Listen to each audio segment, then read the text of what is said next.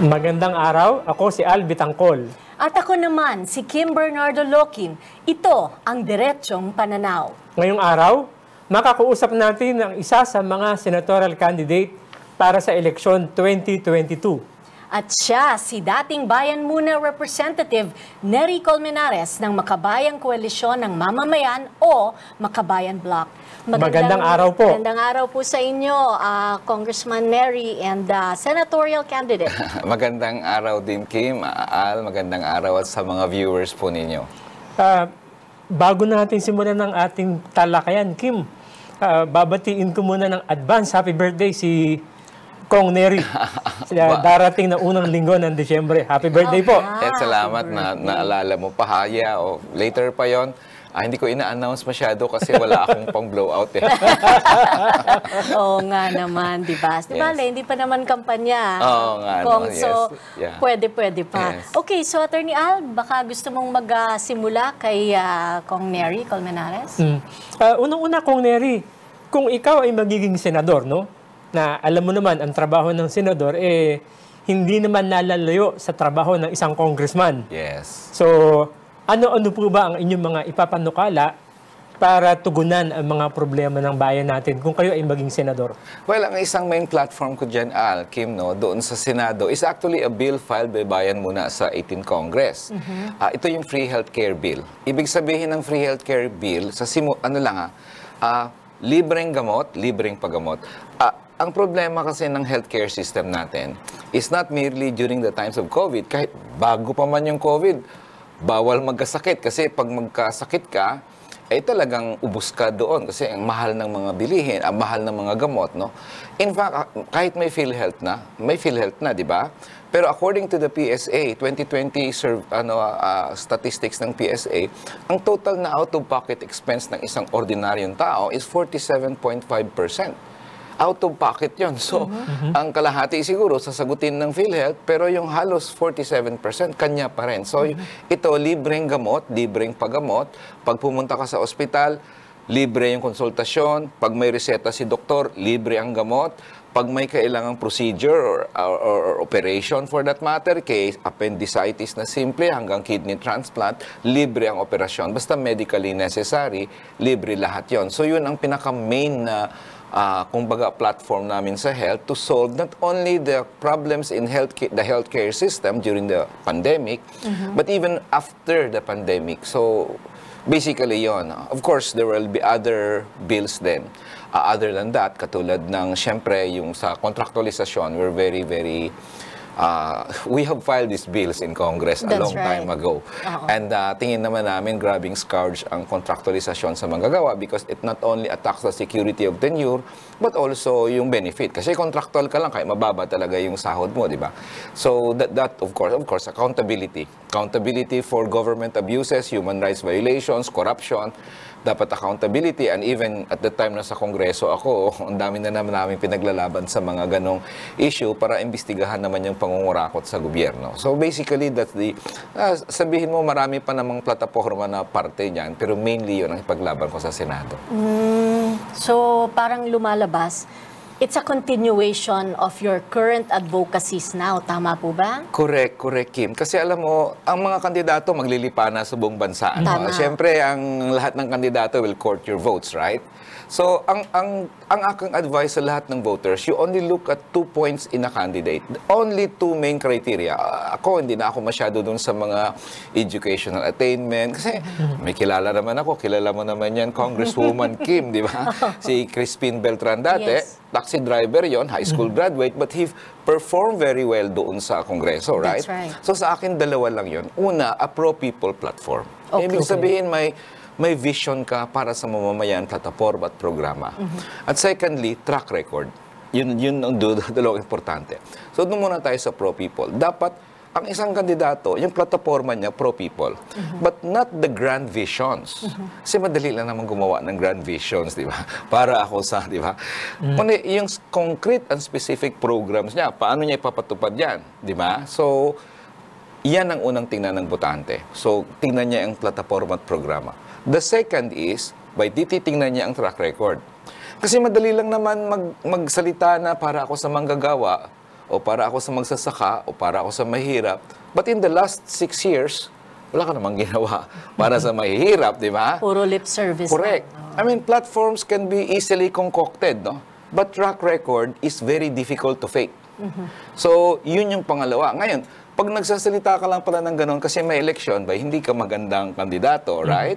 So, the, the candidate must be, ipapakita ng kandidato na ako, ginagawa ko ito, may election man o walang election. That, that's how you look at it. At sa amin sa Makabayan, kaya yung mga pinaglalaban na namin before, ay di, siyempre, yung contractualisasyon, yung ah, healthcare, dagdag na budget sa edukasyon, dagdag. Every budget yan, pukpukan kami dyan para ilaban ang dagdagan ng budget ng education or health. At ipagpatuloy namin yon kasi we believe that that is not only pro-people, but we have the track record to show our sincerity and our courage and determination to push for this, may election man o walang election, kasi ang laban na to is not just about election. This is about social reforms which the Filipino people need at, at any time, whether may election man o walang election. Tama. So ang ang ang additional question ko lang Attorney Al no kay Kong Neri eh you have um, varying degrees of success actually sa house and mas maganda ngayon kasi with every term dumadami po yung ah, nagiging kasama ninyo at ngayon nagkaroon tayo ng Makabayan Block. So, bakit ngayon ang target natin ay Senado naman? Para ba magkaroon ng mas cohesive na action between ah, the lower and the upper house? Ano po ba ang inyong pananaw dito? Well, correct ka dyan, Kim. Correct ka dyan talaga. Kasi alam mo yan, no? you were there once. Ang, ang hirap magpasa ng batas sa House. Pero kahit mapasa mo sa House, pag wala kang counterpart sa Senado, Wala, Wala rin. din. wala rin. Oo. So for example, yung 2,000 dagdag sa SSS pension, I pushed for that since 2011. Pumasayang ang 2013, but there was no counterpart in the Senate. So yung SSS pension, nabinbin, na-refile. ba? Nasayang lang yung Nasayang, panahon, oo. oo. So, m- marami ako, in fact, naalala ko dati, may bill ako for airline passengers rights, Mm-hmm. na kung saan pag na-delay ang aeroplano, bayaran ka ng airlines ng 10,000. Mm-hmm. Kasi na-delay eh. Pag na-delay ng 2 hours, 3 hours, bigyan ka ng pagkain, bigyan ka. Pag na-delay ng 5 hours, bigyan ka na ng hotel. That's right. Pumasayang sa House, ah, on third reading. Mm-hmm. Pero sa Senado, bumaba. Wala, bu- wala sa Senado. So we need to run in the Senate para may counterpart bill kami. Kasi, for example, you probably heard of this. We have been fighting for a wage increase ng 125 pesos across the board wage increase sa lahat ng manggagawa sa Pilipinas. Ah, tagal na namin nilalaban yan. Ang manggagawa, mababa ang sahod, 125. Pukpukan yan sa House. Wala naman kaming counterpart kasi yung mga senador noon, ayaw nila mag-file ng 125. May nagpa-file sa kanila, dagdagan ng 20 pesos, 30 pesos. So sa amin, importante yon. That's the first. Second, alam mo sa house, one out of 300 ka dyan eh. Yung boses mo ba is one out of 300? That's correct. Pag sa Senado ka, one out One of out 24. 24. So yung policy advocacies mo, mas madali mong i-push. Kaya very important na pag may pinapaimbestigahan si congressman na pang kurakot sa gobyerno, abay sa committee hearing na yan, baka 30-40 kayo dyan na nagsasalita ng mga kong, di ba? That's right. Pag sa Senado, iba ang boses mo, iba ang dating mo. So, malaking bagay yan sa advocacy. So, for those reasons, tingin namin, kailangan talaga magkala- magkaroon ng makabayan sa Senado. Some people tell us, no, some, some of them say, we don't agree with you sometimes. But we think there is a need for you in the Senate if only to the fulfill the checks and balance function of a legislature. Kasi yun naman ang function ng legislature is it's a checks and balance institution. So it's a crafting of bills, yes, but the second function is oversight. It's not really actually investigation in aid of legislation. It's actually investigation in aid of oversight function. And of course, yung third function ang tawag ko doon, the special constitutional powers, uh, impeachment, declaration of That's right. war. Oo nga. So, and I think sa Senate, we will have better chances of pushing for pro-people bills if we have a makabayan in the Senate. Okay. Okay. Uh, Kong Neri, baka ang itatanong kasi ng iba, teka muna, tumakbo na dati si Kong Neri sa pagkasenador, Yeah. ah, tapos eh hindi naman siya pinalad. Yes. Ano ngayon ang chances nyo for 2022? Yes, a- alam mo, mahirap talaga manalo sa Senado. And uh, ang unang problema dyan ng tumatakbong senador, kailangan talaga ng massive resources. Kasi ang eleksyon sa Senado, national, ah, pag That's right. national, ang labanan talaga dyan, ah, una muna awareness mo at preference, advertising yan. Ay, ang mahal ng TV advertising ngayon. Kahit noon pa man, mahal. Talagang, I remember, as was it 2016? When ang isang 30-second spot sa TV is almost uh, 400, 450,000 pesos. 30 seconds lang yan, ha? Abay, kung magsampu ka palang ads, by di, ano na yan, 4, 4 million or so. Di ba? So, o 40 na nga pala. So, anyway, ah, wala naman kami. Ako, alam nyo, tatlong termino ako dyan sa Kongreso. Hindi ako nagnakaw dyan. Hindi ako nagpayaman dyan. Kaya pwede akong tumayo sa plenary at birahin yung mga kurakot kasi wala akong skeletons in my closet.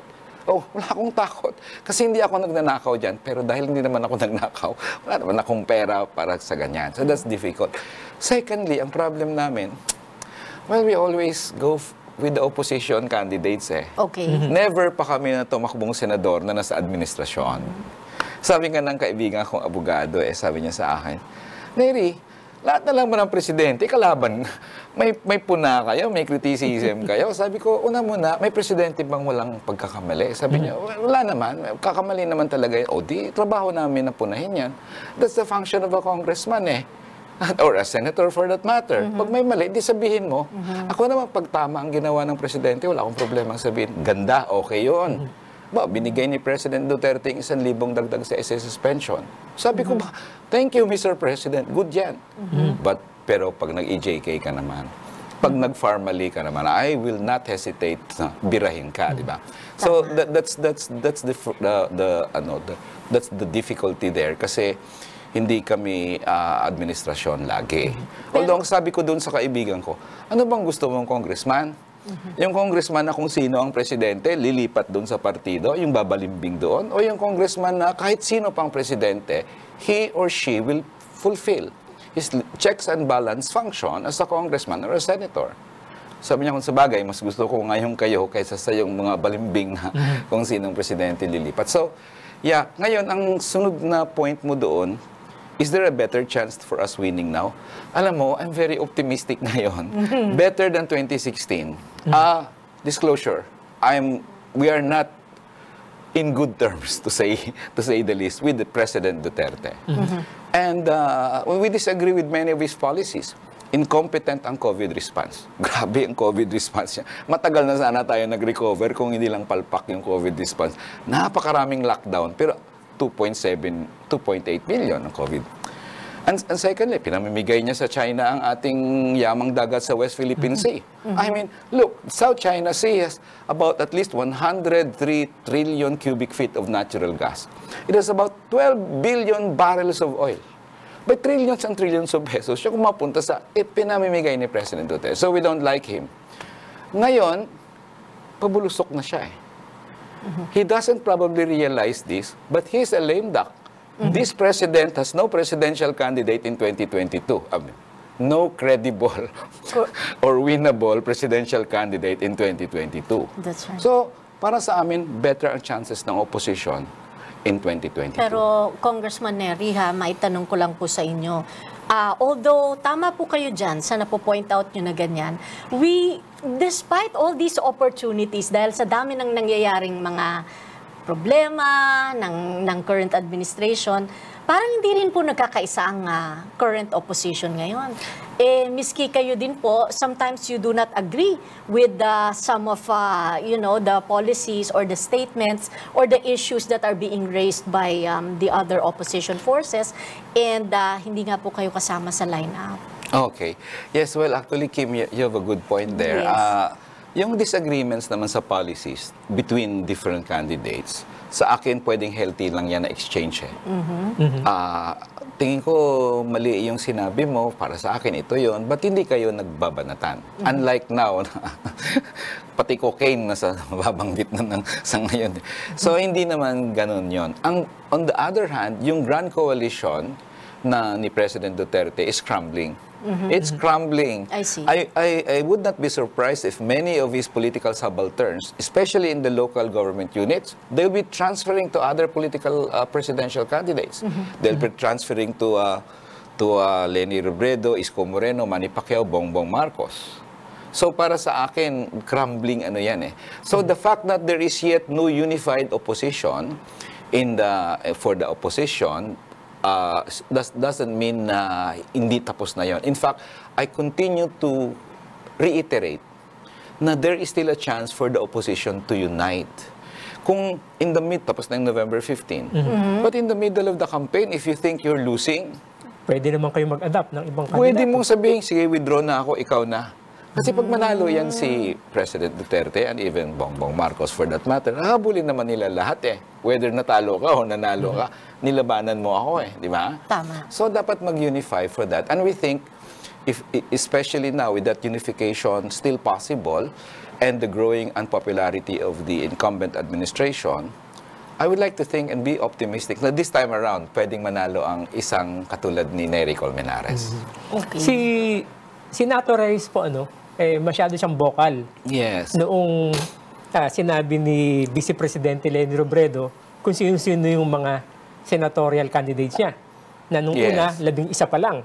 Yes. Tapos Senato, eh, sabi niya, dapat pang labing dalawa na si Nery Colmenares. Yeah. But eventually, ah, hindi natuloy yung labing dalawang yon. Oo nga. So ano po masasabi niyo doon? Well, actually, I issued a statement right after that. Ang sabi ko, the selection of the senatorial candidates by a presidential candidate is the prerogative of that candidate.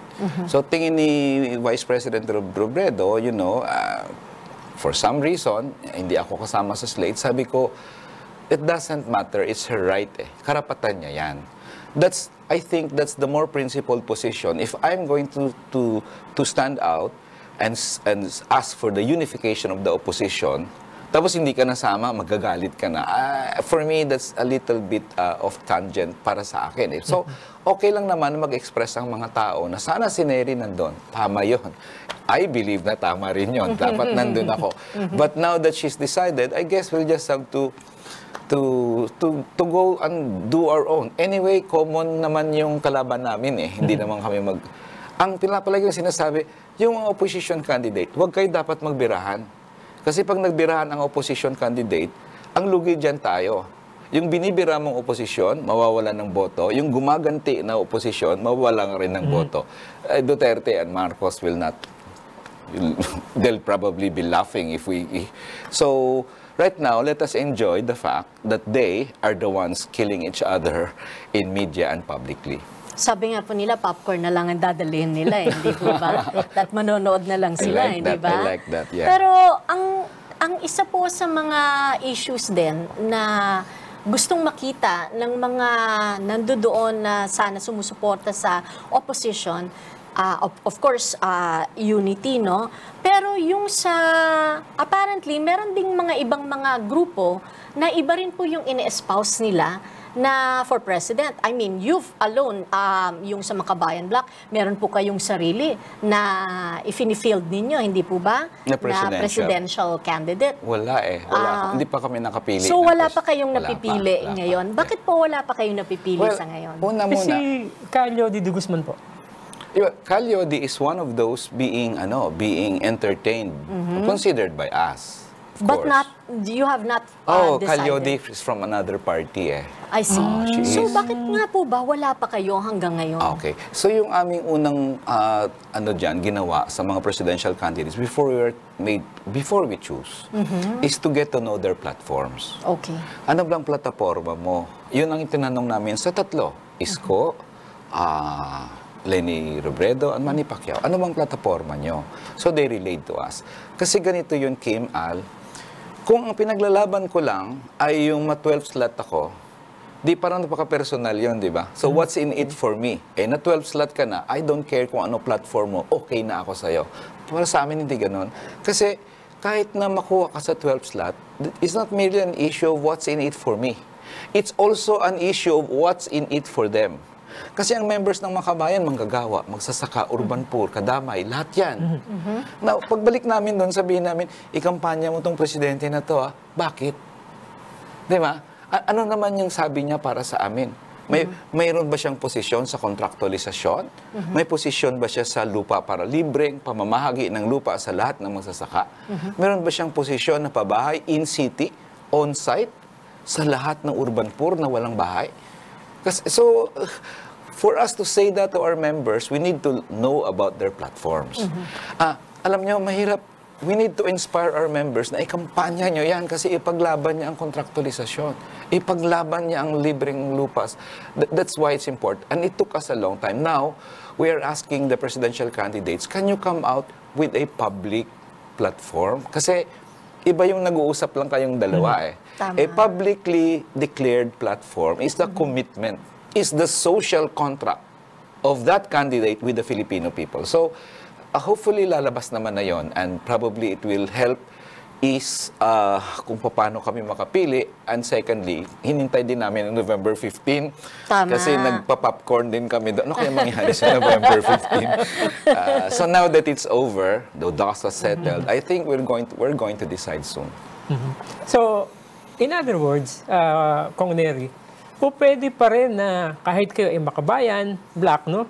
At iba pang mga sinasabi nating kasama sa opposition pero hindi united opposition, po pwedeng before the start of the official campaign period, pipili kayo ng isang standard bearer. I think, yes, definitely. We will choose. That, that's uh, the goal or talagang sinisiguro Ah, nyo na de- meron kayong yun. isa na bakit ko nabanggit na definitely pipili kami? Mm. Kasi para sa amin, this is, again, sinabi ko na kanina, opposition kami. Nais naming matalo ang administration candidate sa 2022. We cannot have another six years of this incompetent COVID response. We cannot have another six years na pinamimigay sa China ang ating marine wealth. Bay, baka naman after six years, wala na tayong mahita dyan sa, sa marine wealth natin sa West Philippine Sea. So, kailangan ganyan. Ngayon, makabayan ng 3.5 million base votes. Ba't ko nasabing 3.5 million base, base votes? Kasi in many elections, you probably know about Yes. that. Pag i-total mo yung Gabriela, bayan muna, boto ng anak pawis, lahat, kabataan, etc., ACT teachers part. Lahat yan, 3.5 million na ano yan. Now, the senatorial candidates, tumataas ang boto namin as senatorial, but a lot of that is market. Market share yan. Right. Yung base mo talaga is 3.5 million. Now, I think this is a plurality election. Our Palagi naman po analysis. eh. Palagi. Yes, well, in a way, plurality din yung 2016 in a way, although medyo malaki-laki ang lamang. This time, Umabot tingin, tayo nun ng parang 47.9% ang bumoto kay Presidente nun. correct. So dito naman, sa ngayon, tingin ko malaking lamang na 1 million dito eh. Or probably 2 million. So yung base nyo po na 3.5 million ay po pwedeng yun ang swing. Correct. Kaya nga pipili talaga kami kasi we will choose the presidential candidate who is in the best position to defeat this uh, administration. Pero meron po sa na nagsasabi, for example, ito pong si ah, dating Senador Antonio Trillanes, sabi nila eh dati naman daw po eh ang sinuportahan ninyo eh si Pangulong Duterte. Totoo po ba 'yon? Ah, no. Ay pero bago po kayo sumagot diyan, Congressman Nery Colmenares, eh magbabalik po kami, diyan lamang po kayo. maswerte tayo dito sa Pilipinas eh. Di ba? Ang daming pwedeng uh, itamnan. Basta masipag lang. kailangan po ma-aware ta ang tao sa tunay na kahulugan ng virgin coconut oil. technically, kahit anong kunin mong lemongrass, and hindi mo siya endemic sa Pilipinas, pero dahil tropical country tayo, madali siyang useful. Ang itik Pinas po ay may tatlo pong ah, kulay. Yun pong itim, kaki at saka kayong kayumangge.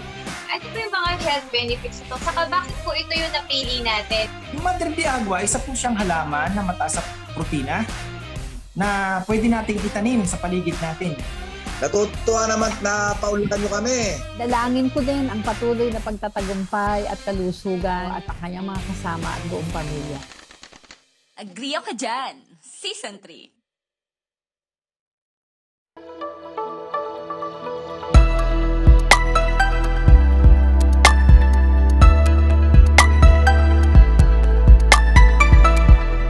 Magandang araw po muli, nagbabalik po kami dito sa Diretsyong Pananaw. ang amin pong katanungan kanina na ginawa nating cliffhanger, Kong Neri, eh nga po, eh sinasabi nila, eh ngayon nagagalit kayo kay Presidente Duterte, pero may mga ibang nagsasabi, katulad ni dating Senador Antonio Trillanes, na sinuportahan niyo daw si Pangulong Duterte noon. So, paano po ba? Yes, well actually hindi totoo yan. We were we supported Grace till the very end. Uh, we, we supported Grace. Ah, meron ba kaming members na sumuporta kay President Duterte? Yes. Yes. Sino yon? Yun yung aming Davao members sa I see. Sila talaga, they requested, pwede ba Duterte? Sabi namin, hindi pwede. Kaya lang, sabi nila, you know, we feel na siya talaga Mindanaoan. Alam mo naman, pag Mindanao, di ba? That's right. So, but if you ask these people saying that, did you see a campaign in Bicol for Duterte? No. Makabayan campaigning. What about Metro Manila? What about... Eh, pag tinatanong ko sila minsan, anong ebidensya mo doon? They can cite some Facebook page na, but klaro naman Mindanao yun eh. So, hindi totoo yun. And uh, ako, ac- actually, to be honest, nung tumakbo yan si President Duterte before, during the campaign period, when he promised six months, tanggalin niya ang droga, ay, sabi ko, trapo to. Hindi pwedeng matanggal ang droga in six months. Tatanggalin niya ang corruption. Pati nga Metro Manila traffic, pinangako niyang tanggalin niya in six months. Ah, In six months. trapo to, nobody promises that. So, I, in fact, ang meeting di Avance ko, yung last last speech I made for the election in Quiapo, in Plaza Miranda, I said in the last part ng meeting di Avance, sabi ko, anong gusto niyong presidente? Yung presidenteng ah, bakal na kamay? O yung presidenteng may puso, which was Grace po, of course. O yung presidenteng nangangako. Well, actually, alam mo, when, when he did that, sabi ko, trapo talaga to. And I couldn't imagine how people can vote for him eh. But he was so effective. He, he looks, ano kasi, sincere and so on. And the way he talks is very irreverent. The way he talks is the, about it. yeah, the normal talk ng kung Mhm. sino-sino. They- So, siguro, nabigani sila. And it took us four or five years to realize na ito palang mga pangako niya. Napako talaga. In fact, sabi niya, iahon ko kayo sa kahirapan, lalong humirap yung buhay natin sa five years niya. So I guess that's another reason why I think the opposition has better chances this this election, precisely because people are now realized and angry that they were taken for a ride by President Duterte. So, uh, on, Attorney on Al- another point, uh, Kong Neri, no? Ah, alam naman ng lahat na ah, isa kayo sa mga naging biktima noon nung panahon ng martial law ni dating Pangulong Marcos, no? So, ito ba ay magiging isang issue sa pagtutol nyo sa kandidatura ni ah, Bongbong Marcos Jr.? Well, definitely maging issue ang martial law. And the one who actually made it an election issue is Bongbong Marcos. Kasi he always goes to that narrative eh, that martial law is the golden age. Si Bongbong Marcos kasi, wala siyang nagawa. Actually, may pumunta sa bahay na Lazada the other day or shop, hindi ko, I, I forgot now. Sabi ko, sino ang iboboto niyo po? Sabi niya, si Bongbong Marcos. Sabi ko, bakit po? Kasi marami siyang ginawa. Ano pong ginawa niya? Sabi niya, tagal niya nag-isip. Ah, pero ang tatay niya maraming ginawa eh. That's the problem of Bongbong. Because he has not achieved anything from his forgettable stint as a senator and a congressman. So he now claims the supposed achievements of his father. Any presidential candidates who relies on the achievements of others rather than himself will lose. Especially since the other candidates have their own personal achievements on their own. Mm-hmm. So definitely may problema si Jan. Ngayon, the way he claims it, he always claims that the supposed achievements of martial law were his achievements, but the supposed, but the corruption and the human rights violations, hindi, he doesn't know anything about that. So, sino pa ba naman ang maniniwala, iboto yung isang kandidato na nagsasabing, lahat ng tagumpay ng tatay ko, akin yan. Lahat ng kasalanan niya, wala akong alam dyan. Hindi, hindi pwede yun. Either you claim the ach- achievements and also the sins, or, or not at all, right? Tapos ang pangalawang sinabi niya, but you cannot charge the sins of the father to the son. Kasi ang sabi nga, the sins of the father are not the sins of the son. Correct. And I agree with that biblical term that the sins of the father cannot visit the son. But Bongbong Marcos is not being made to account for the sins of his father, but for his own accountability. Bongbong Marcos was not a kid during martial law. He was governor of Ilocos Norte. Huwag kaya wag niyang sabihin na wala akong alam dyan. During ano, during EDSA, he was in fatigue uniform, ready to shoot at Filipinos who are demanding that Marcos step down. Is that an innocent son? Di ba? And he was part of government. He not only tolerated, not only uh, was complicit, but he was part of that government. So you cannot now say na wala ako kin... Bongbong Marcos knew about the killings. He knew about the corruption. Hindi siya bata. Gobernador na nga siya ng Ilocos Norte. He knew of the cronies. So he cannot now say na wala akong alam dyan. And last, para sa amin, ah, na biktima ng martial law, he committed the unforgivable crime, crime, na tinwart niya ang pagbalik ng trillions of pesos na ill-gotten wealth sa mamamayang Pilipino. You know what? The ill-gotten wealth, well, ang estimate ng PCGG is from 5 to 10 billion dollars, right? I mean, yun ang pondo na mag-ahon sa marami sa kahirapan. Yun ang pondo na magbigay ng libreng edukasyon. Yun ang pondo na magbibigay ng libreng gamot at paggamot. Tapos hinarang mo yan, anong klaseng presidente ka? Pero Di ba? kung- So, for me, that's that's one reason why we, it is an election issue because the Filipino people has to choose now whether they want a president who deprived the Filipino people of billions of funds instead of giving it to them because a good president should be someone na bumabalik ng pondo sa taong bayan. Not to mention, nagbabayad ng taxes. Actually, medyo mahaba-habang usapan po yan. Pero kasi there's a very thin line daw between yung tax deficiency and yung tax evasion. Pero that's for another time. Yeah, another okay? time. So, And hindi na natin Dapat hindi natin i-discuss yan kasi Oo, sub-judice. eh. Oo It nga, now under tama, the ano, tama. jurisdiction. Pero ito naman po ang, Yes. ang tanong, uh, Kong Neri. So, talking about, you know, human rights violations and then uh, during the time of martial law, sabi kasi nung iba, ang narrative po na nakikita namin ay iba doon sa narrative na nakikita ninyo. So, sabi nung iba, maaring meron talagang mga, yung sa human rights violations cannot be denied, di ba? Pero actually, ngayon, tingnan nyo, meron pa rin tayo continuing, may EJK, i- tapos meron din tayong mga meron ding answer ang administration na ito. Ito nga pong sinasabi nila na tinuturo daw po yung mga komunista na dahilan ng mga human rights violation. Sa matter of fact, Naglagay pa nga po sila ng task force, hindi po ba? At napag-usapan natin yan kanina, ah, bago tayo nagsimula na mag-roll ng cameras, ano po bang masasabi nyo ngayon dito? So, where do we draw the line ah, completely? Eh, Una muna, yung current administration, they're not charging the communists of committing the human rights violations. Ang sinasabi lang nila sa libo-libong pinapatay sa drug campaign, eh, unidentified. No? Ah, But everybody knows kung sino yan. Pero panahon ng martial law, ah, well, I was there. Mm, yes. I was a at- I was the chairman of the Student Catholic Action. We were merely demanding the return of student councils and school papers at the age of 18. I was arrested. Right. At the age of 18, ASO ordered, signed by Marcos. He doesn't even know me. I was an 18-year-old kid. And I was heavily tortured. Lahat kuryente, may bala dito sa ano ko, lahat yan. And imprisoned for a total of four years. I mean, anong klaseng gobyerno ka, nagtutorture ka ng 18 anyos? You must be very cruel. 18 anyos yan eh. Tapos ikulong mo for four years, apat na taon ng buhay ko nawala. Now, sabihin nila, eh, kanya-kanyang perspective, but let's go to the facts. What is the fact? 47% ang inflation ng martial law. Is that, can that be contested? No. Because that's a fact, that's the statistics. 47% inflation. Isa sa pinakamataas na presyo ng bilihin. Is that the golden age? No. At least on average of 12% unemployment. Can you imagine that? Milyon-milyong manggagawa walang trabaho. At you know what? From 44.2% up to even 49% ang poverty incidence.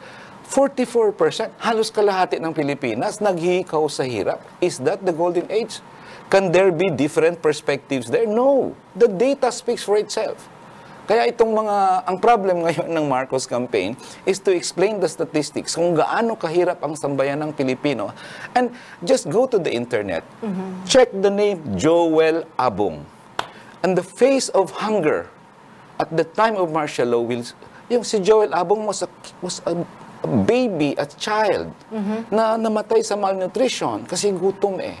Gutom. I remember pumipila ako bata pa ako, may kupon ako para bumili ng bigas kasi walang bigas, nirarasyon ang bigas. Can they contest that? No.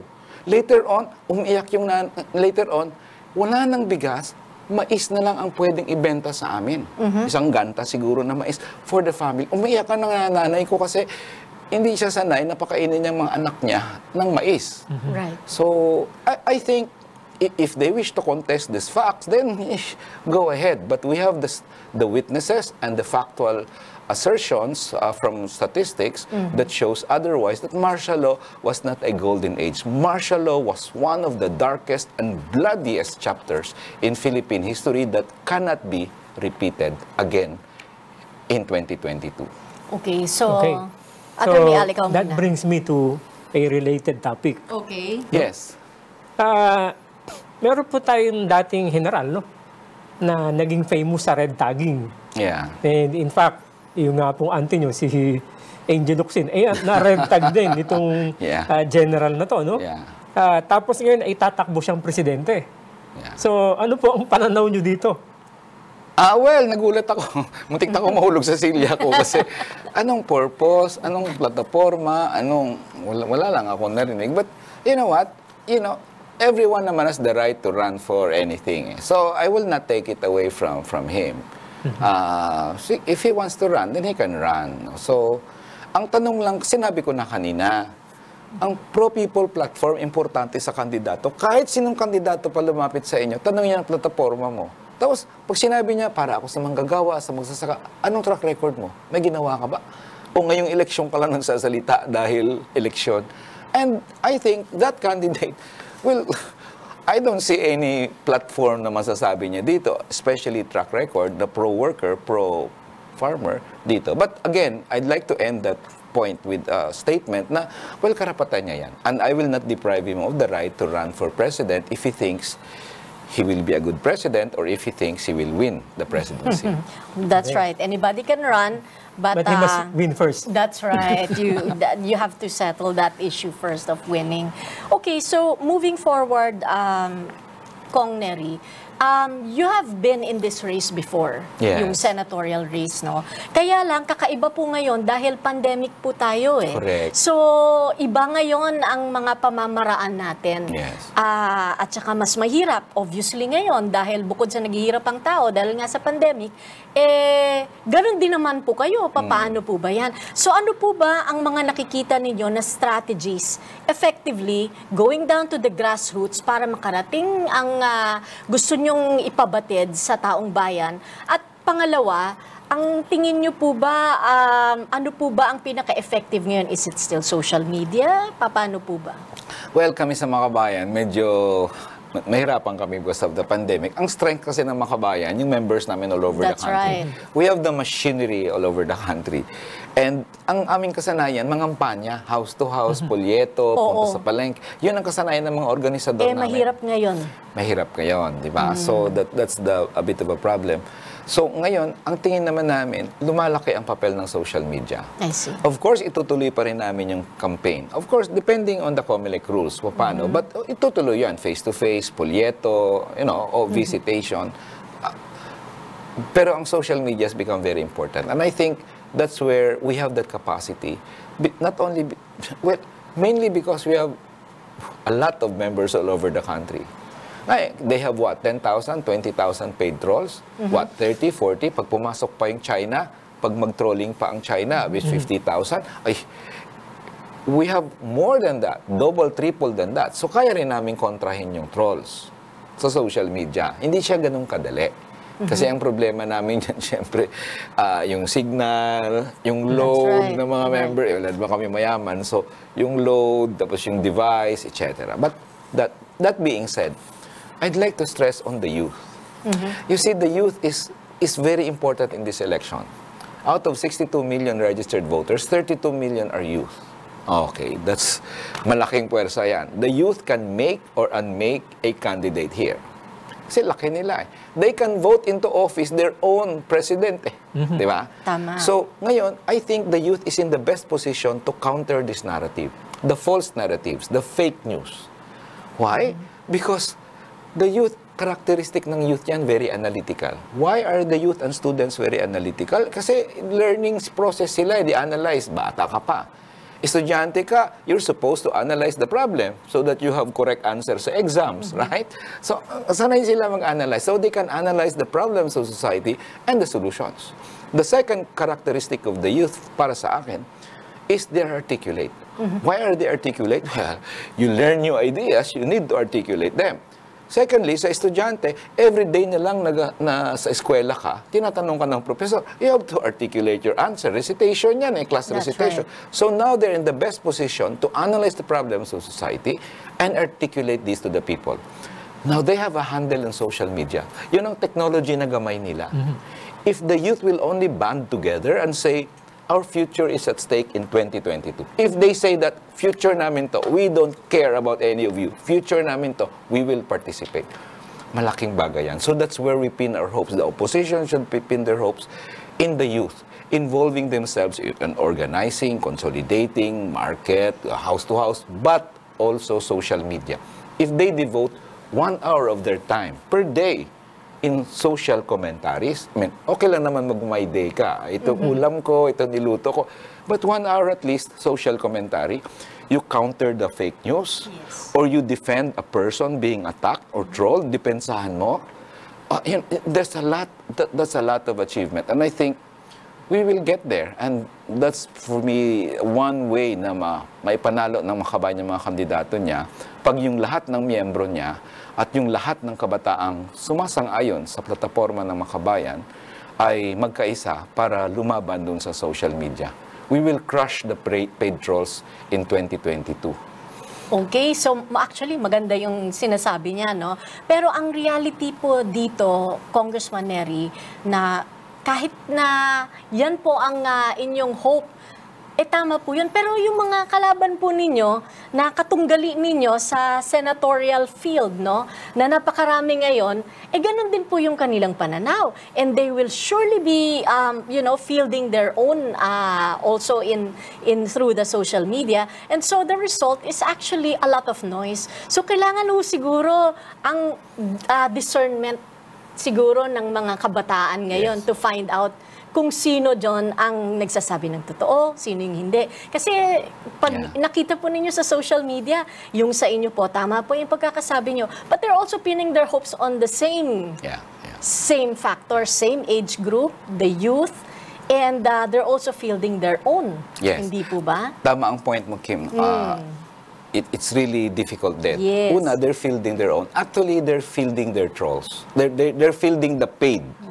Ang kinaiba namin noon, we're fielding the unpaid. The unpaid is more inspired. The, unfa- the unpaid is fighting for his or her future. Iba ito. Iba ito. And we have more of that than them. Ba ilang millions ba ang youth? Ang youth lang sumabak doon. Kahit 100,000 pang maubos yung pera nila sa kakapaid trolls, hindi nila kayang i-counter yung narrative na yon. The second is, the youth, I believe, would be able to separate the chaff from the grain. Simple lang tanong ng youth ng Yes. plataforma mo. Ayaw mo ba sa kontraktualisasyon? O okay ka? Kasi ako, pag graduate ako dito, contractual ako eh. Kaya importante sa akin yung sagot mo. What will they say? This, many of these candidates sa senatorial will be afraid of saying, okay ako sa kontraktualisasyon kasi magagalit sa akin yung big business. Kasi magagalit sa akin yung contributors ko. But there are people who believe na no, okay yun. Uh, we will side with you so that we'll separate them.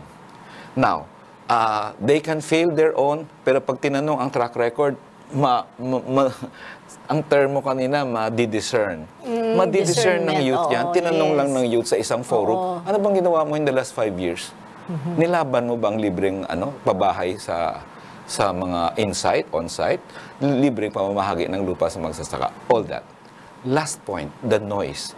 Alam mo, maraming kabataan ang umaatras sa social media, sa Facebook, sa politika. Kasi politika, magulo yan, maingay yan. Yes. Ayaw ko yung mga ganon kasi I, umaatras sila.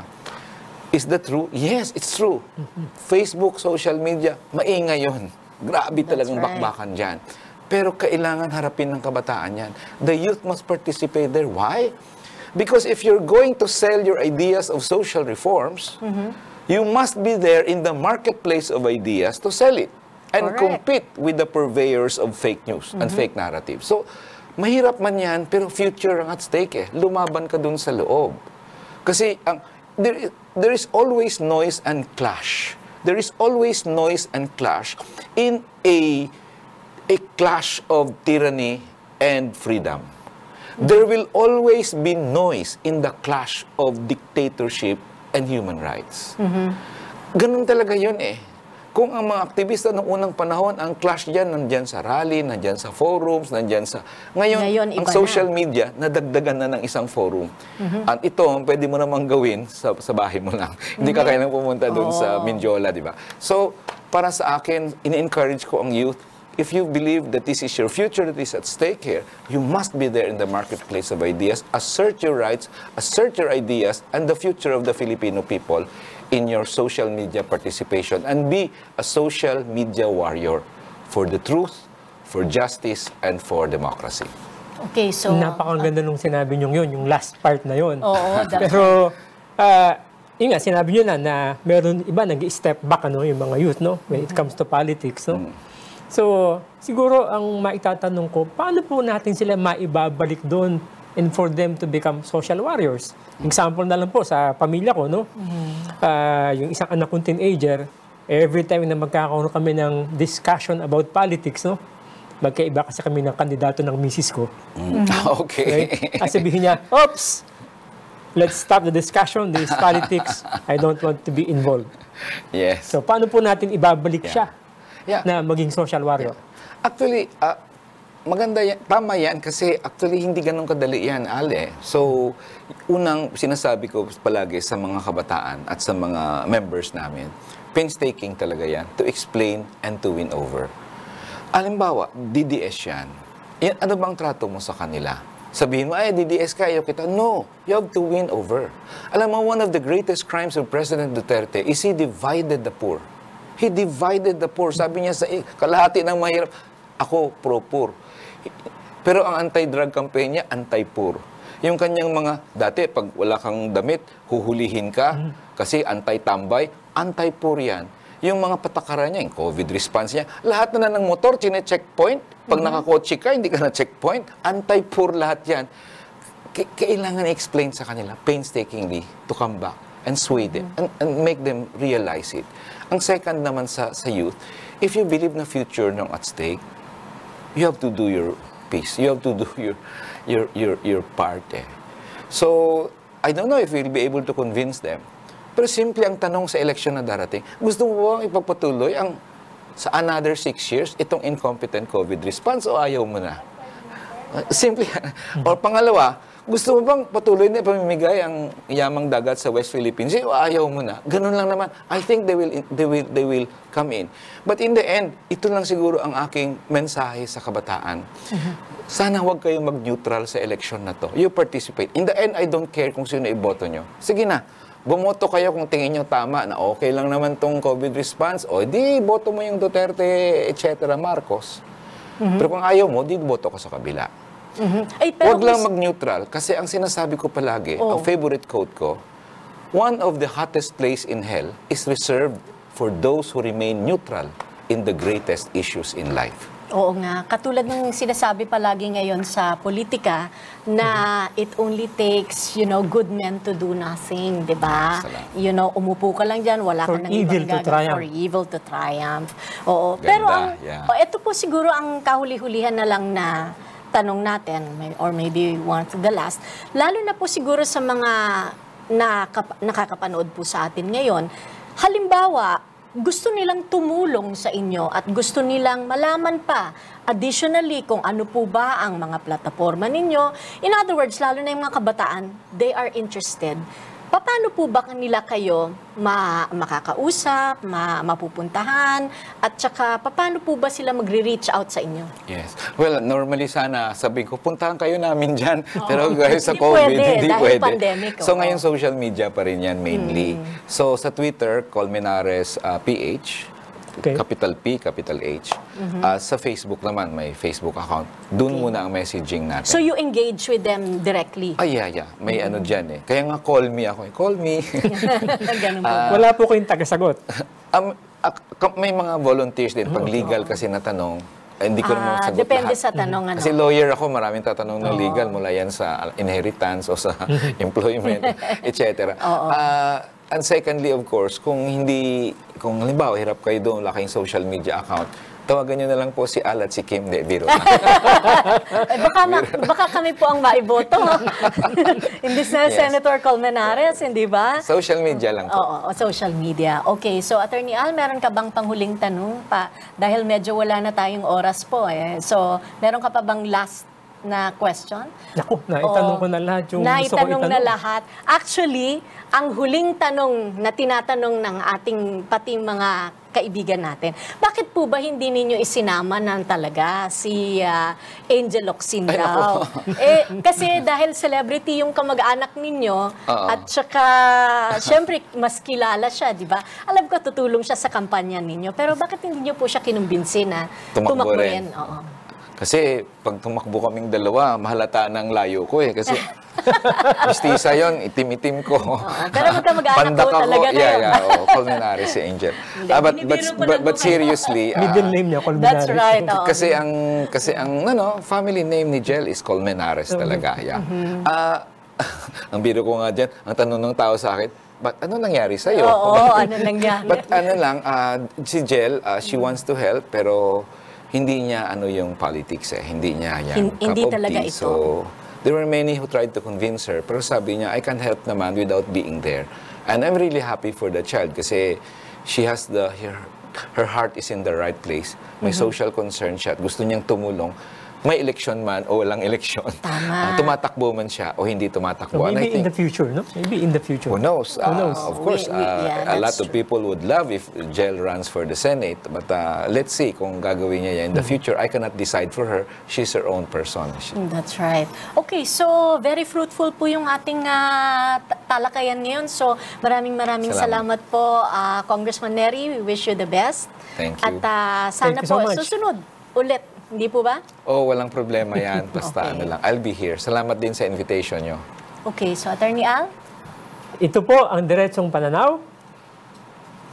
At nagpapasalamat po tayo kay ah, dating Congressman Nery Colmenares at susunod na senador sa 2022. Oo, sana. Maraming salamat po. So, maraming, maraming, salamat. maraming sa- Thank you. Congratulations. Oo ganda nga, ng program at ako niyo. rin naman po, si ah, Kim Bernardo Lokin. Huwag po ninyong kakalimutan hanggang sa susunod na linggo po. Ito po ang Diretsong Pananaw. Maraming maraming salamat. Thank you. Okay, Thank you. Ang maraming galing. maraming Galing niyo, ah. salamat. Wow, Oo, ating diba? ah.